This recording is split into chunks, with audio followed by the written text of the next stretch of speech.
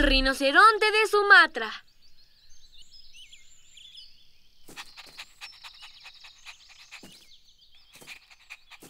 Hero, ven aquí. Hola amigos, mi nombre es Leo y soy un explorador junior. Y él es mi perro Hero. Vamos a jugar al escondite. Voy a cerrar los ojos y contaré hasta 10. Tú te escondes y después voy a encontrarte. ¿Listo? Uno, dos, tres, ocho, nueve, diez. Te voy a encontrar, Hero. Oh, Hero, ¿dónde estás? Ah. ¡Ajá! ¡Oh, tú no eres Hero! Oye, estás atrapado. ¿Quién te hizo eso? Te voy a ayudar. Tranquilo, te estoy ayudando. Si te mueves, te vas a lastimar. Ya quedó. No estuvo tan mal, ¿verdad? Parece que este pequeño se arrastró hasta aquí. ¿Saben qué hay que hacer? Tomemos una foto y se la enviamos a mi hermana Katie. Ella también es una exploradora junior. Quédate quieto. Hola, Katie. ¿Encontraste algo? Llegas a tiempo, Leo. La computadora está buscando información sobre el rinoceronte. ¡Bingo! Se trata de un rinoceronte de Sumatra. ¿Rinoceronte de Sumatra?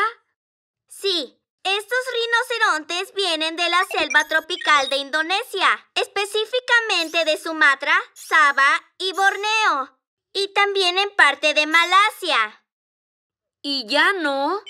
Hay quienes creen que los cuernos de rinoceronte son medicina milagrosa y la gente los ha cazado desde hace mucho tiempo. Ahora tal vez queden menos de 80 rinocerontes de Sumatra vivos. Esa trampa que encontraste quizá la colocó un cazador. ¿Menos de 80? ¿No los protegen los zoológicos? Temo que no. Solo han nacido cinco ejemplares en zoológicos en los últimos 125 años. Deben estar en libertad para poder tener bebés. Debemos llevar a este pequeño de vuelta a su casa para que esté con su mamá. Acompáñenos. Esa es una gran idea, Leo. Te veo abajo.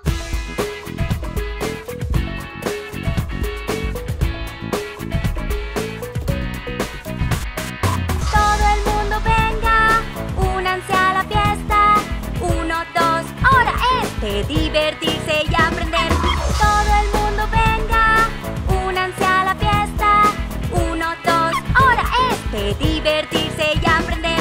Uno, dos, ahora es de divertirse y aprender. Creo que es muy linda. ¿Es una niña? Pues las hembras tienen cuernos más cortos que los machos y... ¿Escuchas eso? ¡Se oye más cerca!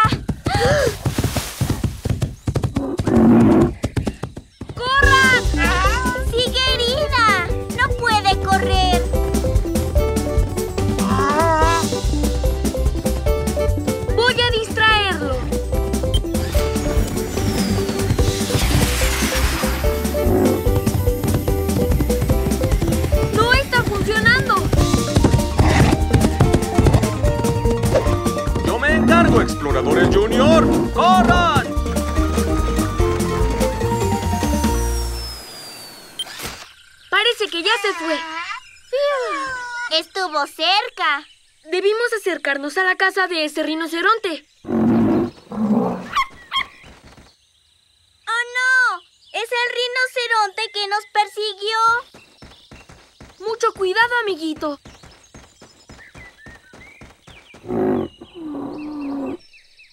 Así que se trataba de su mamá, Leo.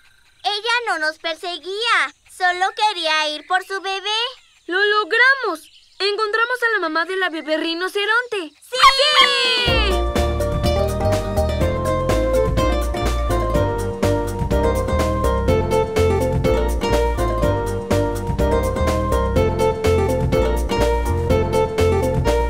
Encontramos una bebé rinoceronte en el jardín y se trataba de una rinoceronte de Sumatra. Y aprendimos que quedan pocos rinocerontes. Si los siguen cazando, podrían desaparecer para siempre. Así que fuimos a la selva tropical a llevar a la pequeña con su mamá. Bien hecho, niños. Lo lograron. Son unos exploradores grandiosos. Civeta de las palmeras.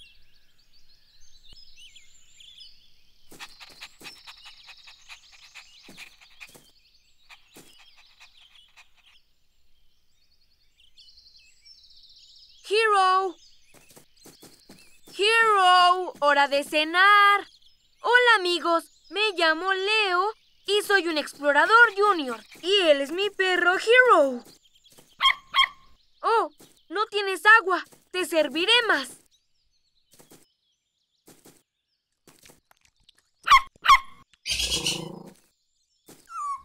¿Ya terminaste todo? ¡Qué rápido! Oye, ¿a dónde lleva este rastro? Es un animal. ¿Fuiste tú quien se comió la comida de Hero? ¿Qué clase de animal eres, por cierto? Ya sé, tomemos una foto y se la enviamos a mi hermana Katie. Ella también es una exploradora junior. Quédate quieto. Hola, Katie. ¿Encontraste qué animal es? Hola, Leo. El animal que encontraste es un civeta de las palmeras. También se le llama gato musang, pero no es un gato. ¿Un civeta de las palmeras? ¿Por qué se robó la comida de Hero? A veces los civetas de las palmeras se comen la comida que los demás olvidaron, pero el civeta de las palmeras come animales pequeños, insectos, frutas y flores. Pero eso es raro. El civeta de las palmeras también come granos de café y cuando hace popó, algunas personas toman esos granos y con ellos hacen un café muy especial. ¿Qué qué? ¿La gente hace café con la popó del civeta cuando come café? ¿Y lo beben? Sí, a ese café le llaman Kopi Luwak y es uno de los cafés más caros del mundo. Por desgracia, como el Kopi Luwak es tan popular, la gente encierra los civetas en jaulas y los alimenta solo con granos de café. ¡Oh, no! ¡Eso es terrible! Por supuesto, Leo. Los civetas de las palmeras prefieren vivir en la naturaleza, en la selva tropical de Asia. Hay que regresarlo al bosque tropical donde pertenece. Acompáñenos. ¡Qué buena idea, Leo! Te veo abajo.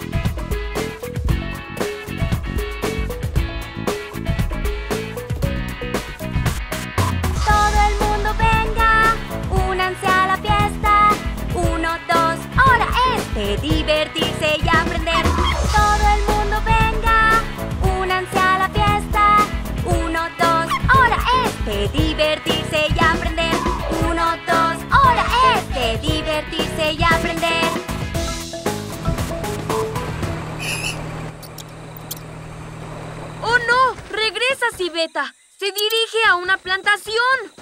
Tenemos que ir por él. Dejar a un civeta de las palmeras en una plantación no es buena idea.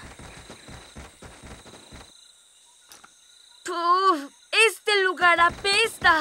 El olor es por el durio. Ya están maduros. ¿Esas frutas son durios? ¡Oh! Ese durio casi me golpea. Buena idea, Hero. Mi sombrero y los cascos nos protegerán, pero no creo que debamos estar mucho tiempo. Hero, ¿puedes olfatear al civeta? El fuerte olor de los durios debe ocultar el olor del civeta. Hmm, podemos usar la cámara infrarroja de Hero para ver las imágenes en mi tableta.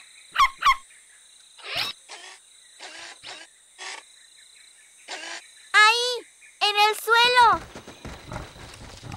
Ese no es un civeta, es un jabalí. ¡Ah! Pobre jabalí, no se merecía eso. Ahí estás. Nos tenías preocupados. Bien, encontramos al civeta de las palmeras. Volvamos al jeep.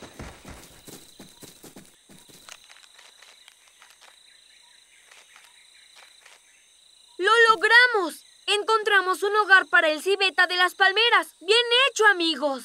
¡Sí!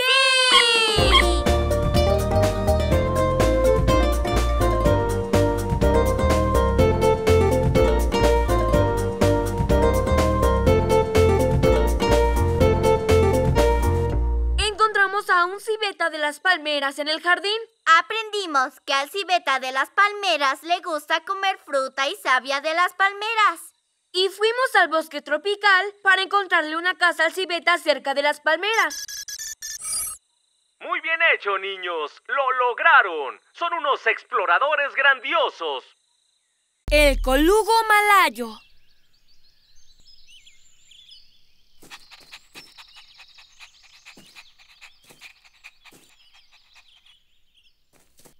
Hola amigos, me llamo Leo y soy un explorador junior y él es mi perro Hero. Voy a hacer aviones de papel, Hero. Sí, un avión de papel. Veamos si puede volar. No hay problema, Hero. Voy a hacer otro. Hagamos que este avión llegue más lejos.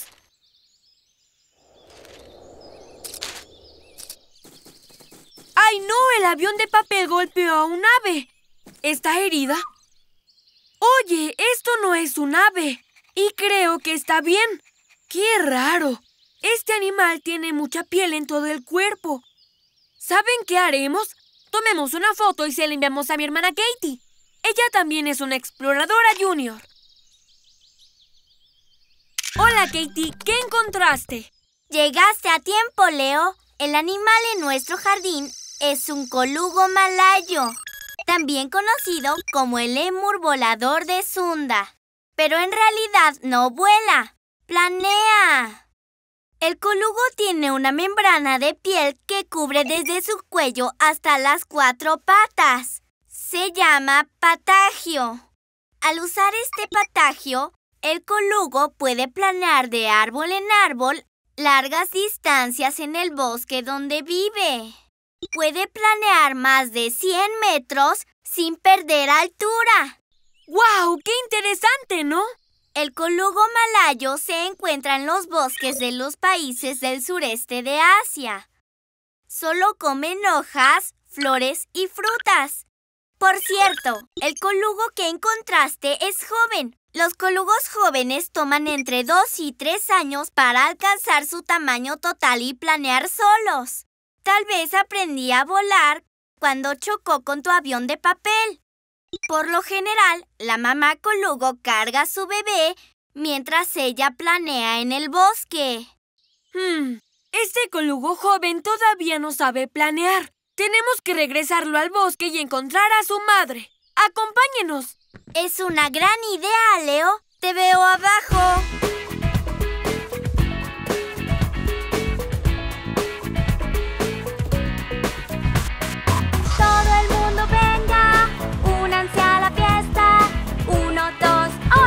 De divertirse y aprender.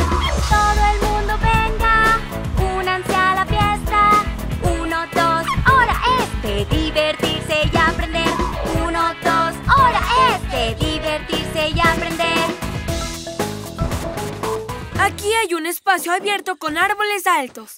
¿Puedes ver colugos en algún árbol, Katie? No, Leo, pero... Huele a que algo se está quemando, ¿no? ¿Qué pasa, Hero? ¡Hay humo allá!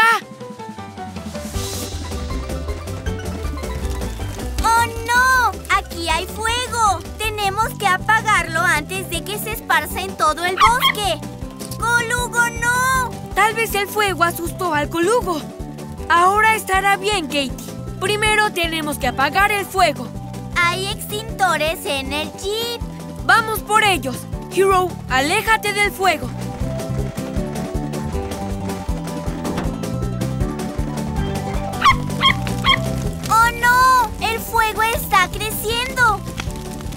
Colugo está en ese árbol que se quema.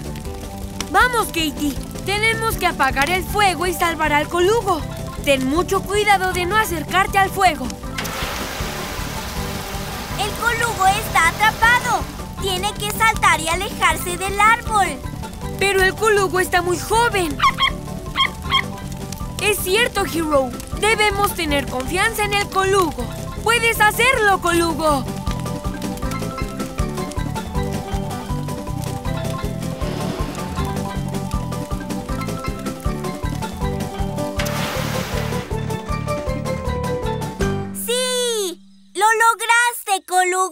Y logramos apagar el fuego. Ahora vamos a seguir en la búsqueda de tu madre.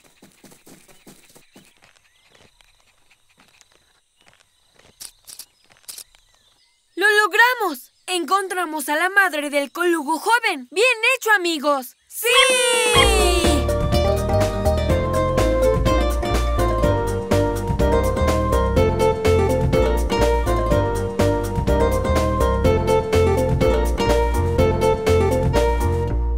Encontramos un colugo malayo en el jardín. Aprendimos que los colugos planean en el aire de árbol en árbol largas distancias en espacios abiertos del bosque. Así que fuimos al bosque y reunimos al colugo joven con su madre. Muy bien hecho, niños. Lo lograron. Son unos exploradores grandiosos. El oso malayo.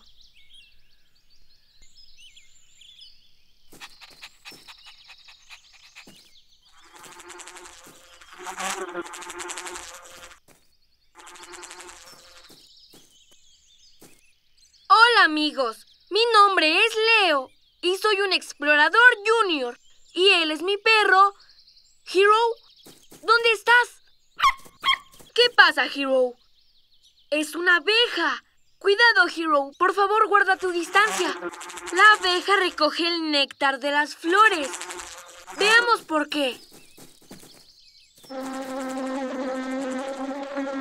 Las abejas recogen el néctar y regresan a la colmena para hacer la miel.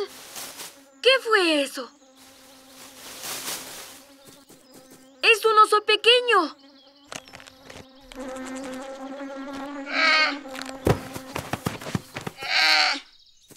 Me pregunto cómo fue que llegó aquí. ¿Saben qué debemos hacer? Tomemos una foto y se la enviamos a mi hermana Katie. Ella también es una exploradora junior. No te muevas, osito. Hola, Katie.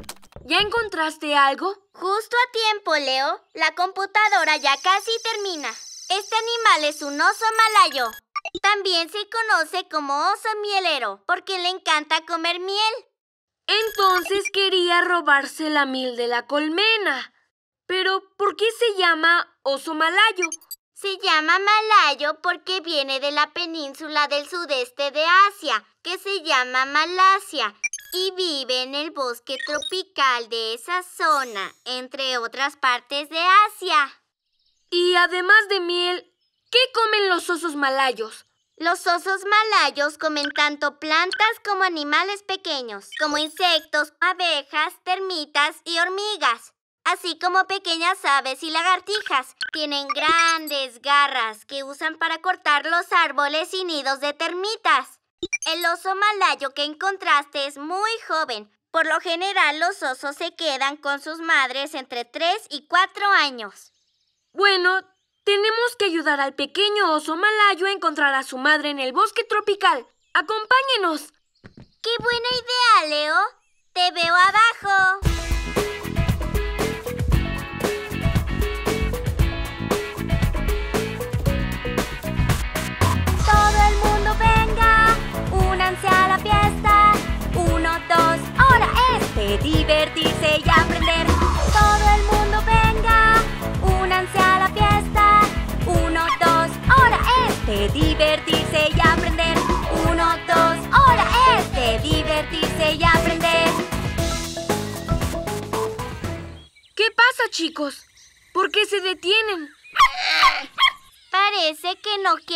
En esa dirección. Si queremos encontrar a la mamá del oso malayo, tenemos que caminar, andando.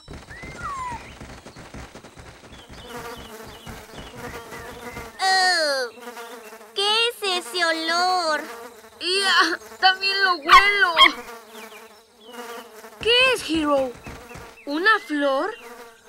Yo creo que el olor viene de aquí. Esto es una flor raflesia. Es una de las flores más grandes del mundo. ¿Y por qué tiene moscas? La flor raflesia tiene mal olor que atrae a las moscas para esparcir su polen. El polen son granos pequeños que las flores tienen para hacer más flores. Eso es muy interesante, Katie. Pero mejor vámonos de aquí. Vengan, corran. El oso malayo y Hero nos advirtieron. Ambos tienen un sentido del olfato muy desarrollado. Ugh, aún huele terriblemente mal por aquí. ¡Oh, no! ¡Hay tantas flores reflesia! ¡Ah! ¡Ah! ¡Ah! Vamos a seguirlos. Su olfato nos indicará el camino.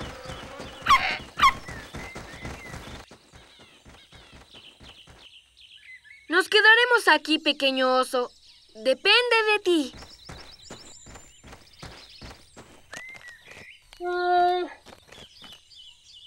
¡Lo logramos! Encontramos a la mamá del oso malayo. Muy bien hecho, amigos. ¡Sí!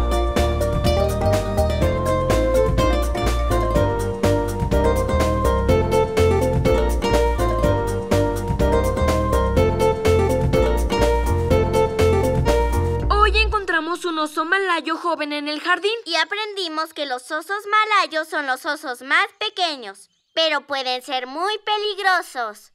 El joven oso necesitaba a su madre, así que fuimos al bosque y lo dejamos en su casa. Bien hecho, niños. Lo lograron. Son unos exploradores grandiosos. El pavo real de la India.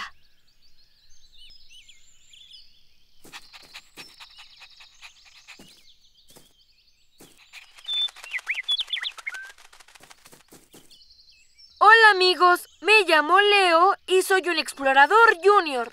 Y él es mi perro Hero. Hero, no molestes a ese pájaro. Sé gentil, Hero. Eres más grande que esa ave. Oye, mira, el ave dejó una pluma. Las plumas son importantes porque les ayudan a volar, las calientan y las ocultan de los depredadores.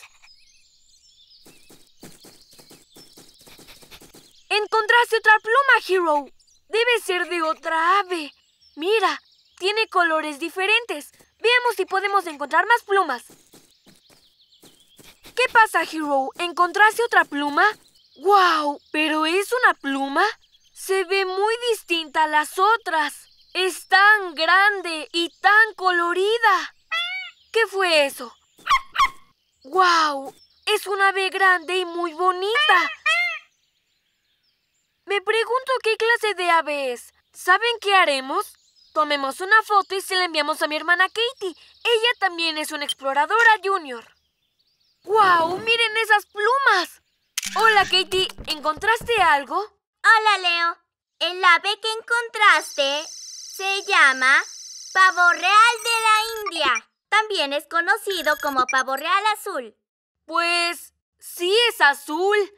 ¿Y se llama pavo real de la India porque viene de la India? Así es. Por lo general se encuentra en la selva tropical de la India y Sri Lanka. Los pavos reales comen semillas, frutas, insectos y hasta pequeños animales como lagartijas y serpientes. ¿Qué más encontraste, Katie? En realidad, el pavo real que encontraste es un pavo real macho. Verás, Leo, los pavos reales machos son más coloridos y tienen las plumas de la cola más grandes. Las pavos reales hembras, en cambio, tienen colores más sobrios. Un grupo de pavos reales se llama parvada. Entonces es un pavo real macho. Correcto. Y no todos los pavos reales son azules. Algunos nacen con plumas blancas. Y los pavos reales son las aves voladoras más grandes del mundo. ¡Qué ave tan interesante! No creo que pertenezca a nuestro jardín. Tenemos que regresar al pavo real con sus amigos. ¡Acompáñenos! ¡Qué gran idea, Leo! Te veo abajo.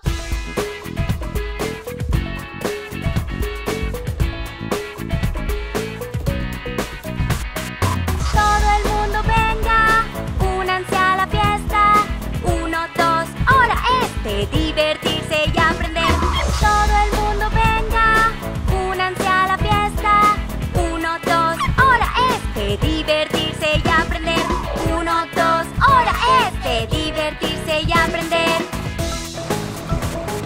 Con el jeep llegaremos muy rápido.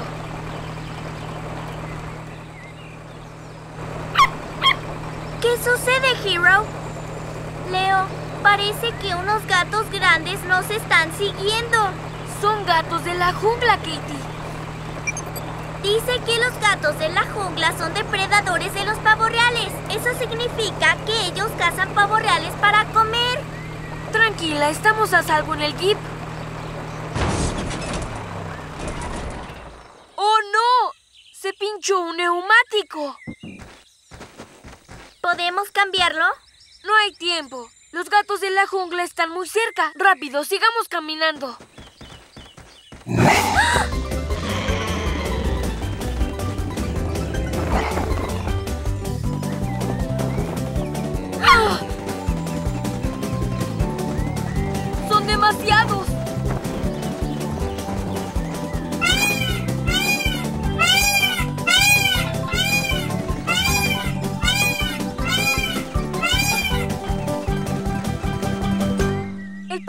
Asustó a los gatos de la jungla fingiendo ser más grande. Bien hecho, pavo real.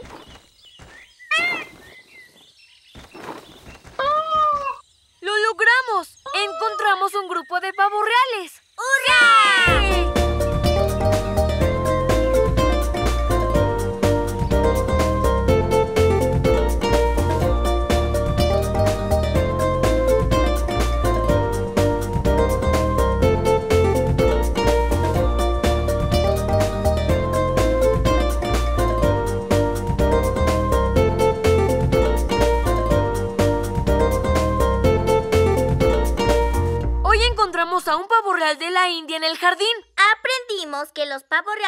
Machos son coloridos y que tienen colas más grandes para impresionar a las hembras que no tienen tantos colores. Así que fuimos al bosque tropical y encontramos a un grupo de hembras para el macho.